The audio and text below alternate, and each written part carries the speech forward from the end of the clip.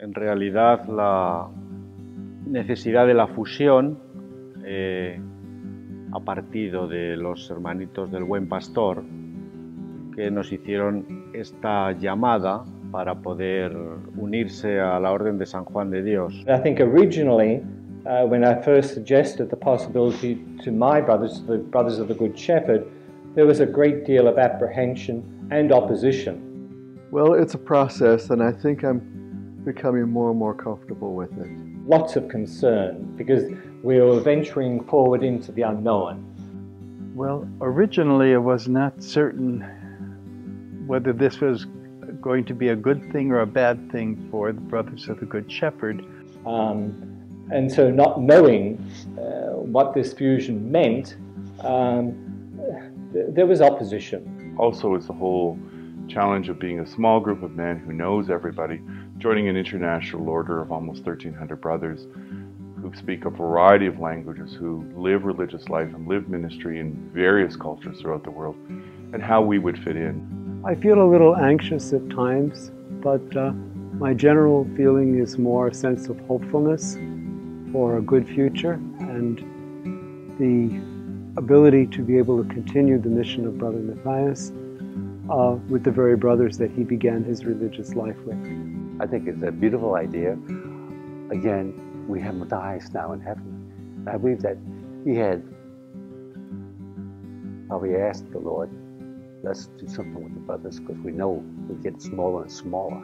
I think those of us who were a part of the, the process from the beginning felt it was, it was a grace that was being offered to us because uh, the Good Shepherd were very close to uh, the way in which St. John of God himself had lived hospitality on the streets of Granada. And I think we've realized that um, in joining with the Hospitaller Order, um, we're not sacrificing our identity, we're embellishing it.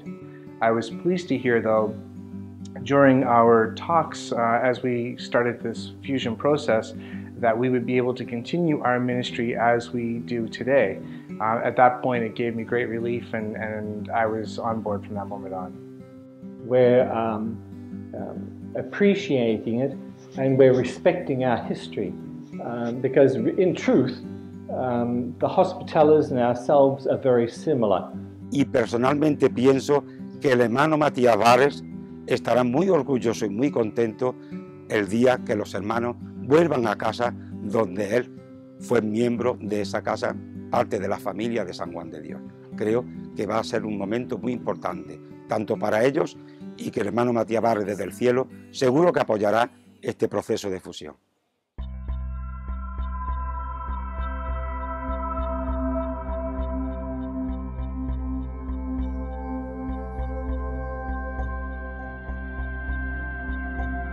John Ciudad, later to be known simply as John of God, was born on Green Street in Montemor-o-Novo, Portugal on March 8, 1495. Leaving home before his 10th birthday, he lived as a shepherd in Oropesa in Spain before becoming a soldier in the Spanish army.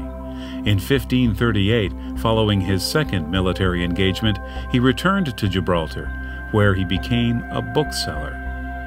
John of God, when he started his mission and ministry, he was he was marginalized. He'd been, without going into too much detail, uh, he was on his own in, in the worst possible sense because he had lost, he had no family or friends or money, uh, no resources. Uh, he had nothing, he had no place. He just the street. And that's a very low point from which to start. Maurice Patrick Barrett, later to be simply known as Brother Matthias, was born in a modest cottage on Yellow Road in Waterford, Ireland on March 15, 1900. At the age of 14, he announced to his mother that he intended to join a community of brothers. Following a series of delays and compromises prompted by his mother, Maurice, now at the age of 16, finally boarded a Dublin bound train on March 17, 1916, to join the Order of the Brothers of John of God. Matthias was a man who was keenly concerned about the plight of the poor and the needy. And so I think that's what encouraged him to follow in the footsteps of John of God. On his 16th birthday, he went there. So, as a very young man, he learned he learned to live and walk and think and talk like John of God. And that was instilled in him. He was, he was, he was completely, completely overwhelmed by the, by the mission of the, of the John of God brothers. John of God never joined a religious order, but was inspired by a religious upbringing. He made a living by selling religious books, traveling from town to town, and collecting firewood that he would exchange for overnight accommodation. Eventually, in 1538, John arrived in Granada, Spain, a port city that served as a gateway to the colonies. Granada was very populous and had a variety of social problems associated with crime, and prostitution, disease, poverty, and homelessness. Paradójicamente, eh, Juan de Dios inicia su labor en la ciudad de Granada, en una ciudad que en el tiempo en el que Juan de Dios la recorre es una ciudad llena de esplendor, pero que a la vez está generando importantes eh, bolsas de pobreza, importantes necesidades sociales. Juan de Dios, en medio de esa abundancia aparente, es capaz de detectar esas necesidades y de dar una respuesta puntualmente a cada una de ellas. In 1920, Matthias was sent from Ireland to France for further nursing and religious training. Bound by the vow of obedience, he accepted a transfer to Montreal and on April 14, 1927, sailed into Canada with brothers Laurent and Hilary. In 1934, he was appointed provincial superior of the newly established province of the John of God Brothers, and in 14 eventful years, he established five institutions a refuge serving the needs of 200 men, a hospital with 500 beds, a soup kitchen, a home for epileptics, and a convalescent home for 75 patients. In 1941, Matthias arrived in Los Angeles, clothed in a threadbare black clerical suit and shod in old oversized shoes with loose soles that flapped. He carried only a small cardboard suitcase. And true to form, he spent the next nine years establishing hospitals, nursing homes, and night shelters in and around Boston and Los Angeles. When he had the vision to bring the order into the United States, when he went to um, Los Angeles and, and on to Boston, he was a mover and a shaker and, and uh, a dynamo. It's simply a matter that he, he was emphasizing um, a, particular aspect of, uh, I suppose, our, our charism of hospitality and uh, the emphasis that he placed on the homeless and the disabled, the mentally ill, uh, people that were in distress, uh, the addic- um, people with addictions. In 1539, John of God dedicated himself to a radical Christian manner of living after hearing a sermon preached by St. John of Avila in Granada. His life at that time was very disturbed, and he was admitted to the Royal Hospital for the Insane, where his treatment for a mental illness was to be stripped, shackled, whipped, and starved. Time in a mental hospital gave John of God a sense of purpose. He accepted the beatings as atonement for his past sins. He objected openly about the severe treatment of others and espoused a more therapeutic approach, such as washing, feeding, and treating them like human beings. Desde su experiencia después de la conversión, que expresa claramente la esencia de nuestro carisma, cuando viendo el trato que le dan a, a los pobres, a los enfermos del Hospital Real, cuando él está allí ingresado también, tiene la misma experiencia que tienen aquellos enfermos y él exclama, ¿quién me diera un hospital donde poder tratar a estos pobres, mis hermanos y prójimos, como se merecen? Y a partir de ahí, él sale con la decisión de iniciar el camino de la hospitalidad. Strengthened by his vow of hospitality, much like John of God, Brother Matthias responded to the needs of the poor and suffering with total energy and abandon. In fact, Matthias was expanding the order much quicker than he could communicate progress to his brothers across the Atlantic. And during that time, there were two world wars. The communications were appalling uh, because, uh, again, even to travel, it, it, took six or several weeks to get from uh, Ireland, say, to Canada or America. Uh, my understanding is that Matthias um, ran into trouble with the superiors of the time and particularly around uh, governance issues. Uh, he wasn't complying with what was the standard policies and practices uh, around governance, and also uh, in the manner in which he was recruiting and uh, training and forming uh, new entrants to the order in the United States. And that's where Uh, the conflict between what he felt called to uh, inside of himself and what the order at that point in time stood for, or the way it, it, it, it, understood its mission. And it was all very controlled. If he were with them today and wanted to branch out and do different ministries that serve the poor, he would be greatly supported by them. Soon there would be complaints within the order about Matthias's administrative style and even questions about his obedience. In July of 1949, Matthias was called back to the psychiatric hospital in Stillorgan, Ireland, where he had joined the order as a teenager some 33 years before. It caused him a great deal of pain to be put back to folding laundry in the same room he'd been in when he was 16 years old. And while he tried his best to be obedient, Matthias felt that there may have been questions about his mental health. Confusion and misunderstanding eventually led to Matthias's release from former vows.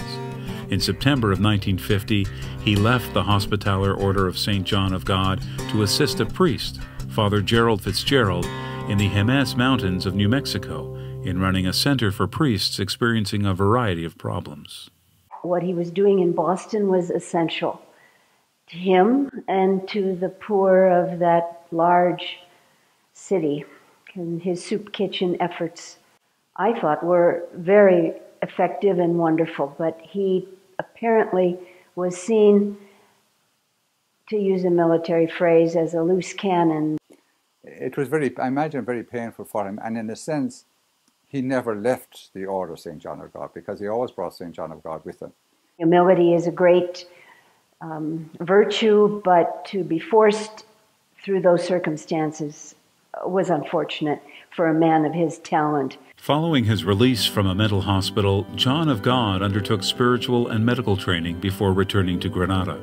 His compassion for the poor was so deep that he often exchanged clothing with anyone whose apparel was filthy and tattered.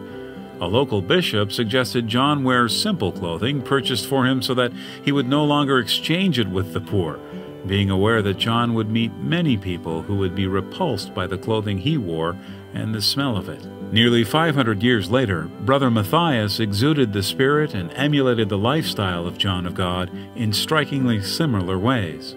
Shortly after arriving in New Mexico, he was asked by the Archbishop of Santa Fe to respond to an immediate need in nearby Albuquerque and to start a religious group of his own. Then, on January 19, 1951, the Congregation of the Little Brothers of the Good Shepherd was established and there began the continued journey of John's road to hospitality. Matthias was very, very reluctant ever to talk about the fact that he was dispensed from his vows. John of God's name was mentioned at the table. He would, he would just, he would just, uh, you would see a tear or two because he would. I don't think you ever get John of God out of Saint John of God out of his out of his heart and out of his mind. Uh, and all the hospitality that the brothers of the Good Shepherd uh, experienced over the years came from him. Siempre creo que se sintió como hermano de San Juan de Dios y murió como hermano de San Juan de Dios, aunque fundó la, la, la congregación de los hermanitos del Buen Pastor. Por eso no me extraña que vuelva a casa. Sleeping rough without a home in Granada, a wealthy and kind man known as Don Miguel Aviz Venegas allowed John to sleep in the entranceway of his house. Not comfortable leaving his poor and sick to sleep in the streets, John brought them in to sleep at the entranceway of the Venegas house until there were so many that Don Miguel felt it was best for them to relocate. Eventually, John established a house of hospitality on Calle Lucena, which would be his first hospital at Granada, supported by charitable women and through begging. Él fue un hombre muy activo. Cuando vino a Granada, la ciudad se volcó con él Precisamente no al principio, porque al principio lo consideraba un hombre raro, extraño. Pero en cuanto empezó a ejercer su ministerio, la gente se volcó con él, le ayudó en todo lo que necesitaba In Albuquerque, Matthias quickly responded to the needs of the community with hot meals and a place for men to clean off the road dust and lay their heads at night. A ladies' auxiliary and a men's advisory board was formed, and more men came into the ranks to help grow the order to other parts of the United States, as well as in Hamilton, Toronto, Great Britain, Ireland, and Haiti. Hospitality was being extended to those in the care of Brother Matthias and the Brothers of the Good Shepherd, inspiring others to follow. I joined the Brothers of Good Shepherd while I was there, uh, the auxiliary, and I've been a member ever since, which is going to 44, 45 years. He said to me, you know, we just need to have something for the homeless women. We have nothing for the women. And that was when we started the shelter for them. You were drawn in uh, to his to his personality. Just there was just he had a presence about him, but it was a holiness that was unfailingly present. First time I met Matthias is a week after my 32nd birthday. I decided to become a brother, and he grabs my hand. That's the first time I felt so holy. I says, wow. It was like seeing a Grand Canyon. I was standing in awe at the presence of this guy, Christ-like. When I first met him, I, I, I just felt that I was talking to a saint. And as I lived with him, as months went on, I lived with him, I, I, I, I in my own heart and my own mind, I, knew that he was a saintly man that did saintly things. When my daughter died in 1984, um, uh, Don was my attorney at the time, and he told Brother Matthias that Denise had died. Didn't tell Brother Matthias what happened, and Matthias's remark was, I need his address, I got to write him a letter, he's got to get it tomorrow. Well, we got it. But he also said to Don and myself that he had talked to my daughter and she didn't mean to do it and she was okay, she was tired. And he did not know she'd taken an overdose of aspirin. Uh, he later came to the funeral uh, and he came to the house and sat there and he sat and told my wife, don't worry, she's in heaven, she's going to help me get there. I guess you could say in many ways he's been in my life through his brothers, through his prayers, and um, he's just been a wonderful man. He still is, and they always talk about he's going to be a saint one day, Saint Brother Matthias. There was never a, a requirement of uh, a person had to be a Christian or uh, they had to sit down and listen to some um, proselytizing. That was never a part of the picture. The only requirement presented was need, like the parable of the uh, of the um, Good Samaritan. In Granada, John of God's reputation grew, and the work he was doing gained the support and donations of the surrounding area. Those in need knew where to find him for care and support. For the sick that could not come on their own, John often carried them on his back from the streets to the hospital. Soon, John had to relocate to a second larger hospital with the help of wealthy supporters who, despite John's past reputation as a dubious character attracting the riffraff of the city, they still had confidence in his ability and conviction. Ya el propio fundador, San Juan de Dios, en una de sus cartas que él escribió, de las poquitas que escribió, él decía, ¿no? en esta casa se reciben personas necesitadas de todo tipo. ¿eh? Personas sin techo, peregrinos, enfermos, niños, en fin, eh, mujeres maltratadas por la vida, de todo tipo, ¿no? Y en ese sentido es lo que la orden realiza. John of God died on his 55th birthday in 1550, worn out with his labors of charity.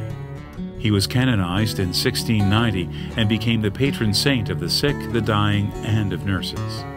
While John never entered a religious order, his works continued after his death with the establishment of the Order of St. John of God, which operates hospitals and other related healthcare and social services in 52 countries around the world. In August of 1990, Brother Matthias died in his 91st year. Throughout his life, Matthias lived the charism of hospitality, emulating the life of St. John of God. Matthias and John of God were both men of great vision. and in spite of their individual problems, they had a wonderful and beautiful dependence on God. They both had the courage of their convictions to take up the work they thought God called them to do, and they fought for it, and they both suffered for it. And we're coming together, together as brothers to ensure that the poor, sick, and needy people will continue to be cared for in the future in the way shown us by uh, Matthias and John of God. And that's why we're doing it. And that's why, you know, if it's painful for, for some at times, just to remember that the people, we're, the people we're trying to serve are suffering even more and have given up even more than we are asked to do, so that we do it willingly. On January 19, 2015, the Little Brothers of the Good Shepherd fused with the Hospitaller Brothers of St. John of God. The fusion of the two religious orders saw the end of the Little Brothers of the Good Shepherd as a formal entity. The Little Brothers of the Good Shepherd have now become Hospitaller Brothers of St. John of God. The charism and work of Brother Matthias, who followed in the footsteps of John of God, will continue through the newly established Hospitaller province of the Good Shepherd of North America. What we want to guarantee, insofar as we can, is that hospitality, that great gift that God has given us, that that stays and stays the, as a part of the ministry of the church. And that's why we, we, we the, the, the, Good Shepherds and ourselves are coming together to ensure that that happens to a great extent in North America. That the process of the fusion has been uh, a challenging one for the brothers, and uh, it will mean many different things for us as we move forward. But I think for the staff, in many ways, it will uh, only strengthen the ministries that uh, Brother Matthias created and the brothers built over the years. And it will, in fact, give us a, a greater sense of belonging to a worldwide organization. Los hermanitos eh, han trabajado específicamente en este campo del servicio a las personas sin hogar, a las personas, eh, digamos, de la calle, a personas eh, con necesidades, digámoslo así, más de tipo social. ¿no? Y yo creo que esto es una, una gran aportación para la orden y específicamente en esta parte de esta parte del mundo, Canadá, en América, en América del Norte, etcétera. The Good Shepherd brothers and their co-workers, the family of the Good Shepherd, will be encouraged to know that the dream will continue uh, of Matthias. That it's not going to die when the brothers die, and the John of God brothers die, others die. I think the merger, I hope, is recognition by St. John of God that he was truly one of them. Been a challenge in terms of how we move forward and what we need to give up or or die to as we join this new community of St. John of God and what we bring to it. So it's both life-giving, but it also will mean some sacrifices on our part. And I think that the challenge for each and every one of us is to rise that to that occasion because really, what we're all here for is to do the work of God, the work that Jesus Christ left us, which is to clothe the naked, shelter the homeless, and to alleviate human suffering.